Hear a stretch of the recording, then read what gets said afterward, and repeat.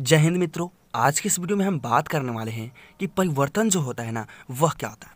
अगर आपको ये परिवर्तन लिखा हुआ, अगर अच्छा से दिख रहा है बड़ा बड़ा तो जल्दी से बता दीजिएगा कि बड़ा दिख रहा है।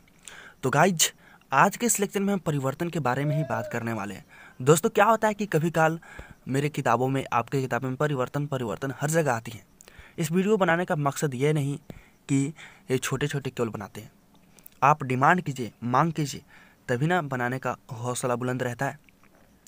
तो चलिए मित्र, आज के इस शानदार लेक्चर को देख लेते हैं कि आज हम परिवर्तन का मतलब और क्या हो सकता है। तो दोस्तों, इसको समझने के लिए सिंपल सा आपको उदाहरण लेते हैं। जैसे दोस्तों, आपके घरों में जब खाना बनता है दोस्तों, जब खाना बनता है तो पानी तो ठंडा रहता है। तो दोस्तों, पानी ठंडा रहता है तो क्या वो गर्म हो जाता है? जी हाँ दोस्तों, वो गर्म हो जाता है। तो दोस्तों, गर्म हुआ ना तो वही हो गया परिवर्तन। या दोस्तों, जब आप गीले कपड़ों को दोस्तों, अगर घामा में यानी दोस्तों धूप में डाल देते हैं तो वो क्या हो जाता है कि सूख जाता है। तो दोस्तों, वो भी एक प्रकार का परिवर्तन हो गया। और दोस्तों एग्ज़ाम्पल जैसे मिट्टी समझ रहे हैं।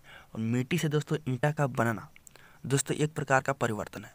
और दोस्तों, पक्का के घर है और उसको गिर जाना, ये भी एक परिवर्तन है। दोस्तों ऐसा समझिए। जैसे बीज समझ रहे हैं बीज, और बीज में से अंकुरित निकलना। दोस्तों, ये भी एक परिवर्तन है।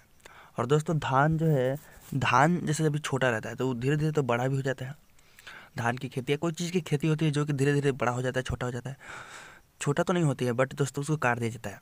तो दोस्तों, वही हो गया आपको एक तरह से परिवर्तन भी हो गया। जैसे छोटा से बड़ा हुआ कोई भी पौधा तो आपको एक तरह से वो भी एक परिवर्तन ही हुआ। क्लियर? तो परिवर्तन समझने के लिए और सिंपल सा फंडा लेने का तरीका है। दोस्तों, आपके घरों में सब्ज़ियाँ हैं, दिया होंगे। दोस्तों, सब्ज़ी छोटा रहती है पर कल बड़ा हो जाती है परसों दो दिन के बाद वो बड़ा हो जाती है। इसका मतलब कुछ ना कुछ उसमें बदलाव आता है। तो चलिए दोस्त, आज के इस लेक्चर में इतना ही। नहीं समझ में आया होगा तो यार ज़रूर बताना। इतनी छोटी सी बातें तो सबको पता होती है। तो चलिए दोस्तों, वीडियो समाप्त हुआ।